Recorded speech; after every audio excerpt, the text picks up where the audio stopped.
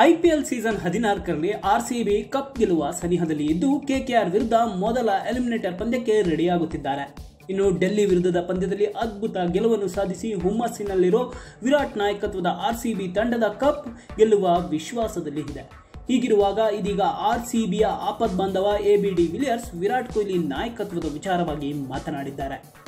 ವಿರಾಟ್ ಕೊಹ್ಲಿ ಐಪಿಎಲ್ನಲ್ಲಿ ನಾಯಕನಾಗಿ ಆಡುತ್ತಿರೋ ಕೊನೆಯ ಸೀಸನ್ ಆಗಿದ್ದು, ಇದೀಗ ವಿರಾಟ್ ನಾಯಕತ್ವದ ಬಗ್ಗೆ ಎಬಿಡಿ ಹಾಡಿ ಹೊಗಳಿದ್ದು, ನಾನು ವಿರಾಟ್ ನಾಯಕತ್ವದ ಅಭಿಮಾನಿ ಅನ್ನೋ ಮಾತನ್ನ ಹೇಳಿದ್ದಾರೆ.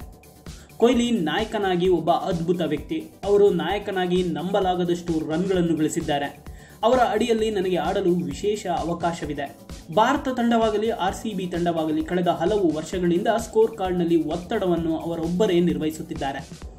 ಅವರ ಕ್ಯಾಪ್ಟನ್ಸಿ ಒಂದು ರೀತಿಯಲ್ಲಿ ಅಗ್ರೆಸಿವ್ ಆಗಿದ್ರು ತಂಡವನ್ನು ಒಟ್ಟಿಗೆ ತೆಗೆದುಕೊಂಡು ಹೋಗುವ ಅವರ ಶೈಲಿ ತುಂಬಾನೇ ಇಷ್ಟವಾಗುತ್ತೆ. ಕೊಹ್ಲಿ ಇರುವ ಜಾಗದಲ್ಲಿ ವಾತಾವರಣ ಯಾವಾಗಲೂ ಮೋಜಿನಿಂದ ಕೂಡಿರುತ್ತದೆ ಅನ್ನೋ ಮಾತುಗಳನ್ನು ಹೇಳಿದ್ದು, ವಿರಾಟ್ ನಾಯಕತ್ವದ ವಿಚಾರದಲ್ಲಿ ನಾನು ಅವರ ಫ್ಯಾನ್ ಅನ್ನೋ ಮಾತನ್ನ ಐಬಿಡಿ ವಿಲಿಯರ್ಸ್ ಹೇಳಿಕೊಂಡಿದ್ದಾರೆ. ಇನ್ನು ಈ ಬಾರಿ ಐಪಿಎಲ್ ನಂತರ ನಾಯಕತ್ವ ಸ್ಥಾನಕ್ಕೆ ಗುಡ್ ಬೈ ಹೇಳುತ್ತಿರೋ ವಿರಾಟ್ ಈ ನಿರ್ಧಾರ ತಕ್ಷಣ ತೆಗೆದುಕೊಂಡಿದ್ದಲ್ಲ. ಈ ವಿಚಾರವಾಗಿ ಎ ಬಿ ಡಿ ಬಳಿ ಎರಡ್ ಸಾವಿರದ ಹತ್ತೊಂಬತ್ತರಲ್ಲಿಯೇ ಚರ್ಚೆಯನ್ನು ನಡೆಸಿದ್ದರಂತೆ. ಎರಡ್ ಸಾವಿರದ ಇಪ್ಪತ್ತರಲ್ಲಿ ನಾಯಕತ್ವಕ್ಕೆ ಗುಡ್ ಬೈ ಹೇಳಲು ರೆಡಿಯಾಗಿದ್ದರಂತೆ ವಿರಾಟ್. ಆದರೆ ಒಂದು ವರ್ಷ ಮುಂದಕ್ಕೆ ಹೋಯಿತು ಅನ್ನೋ ಮಾತುಗಳನ್ನು ವಿರಾಟ್ ಹೇಳಿಕೊಂಡಿದ್ದಾರೆ.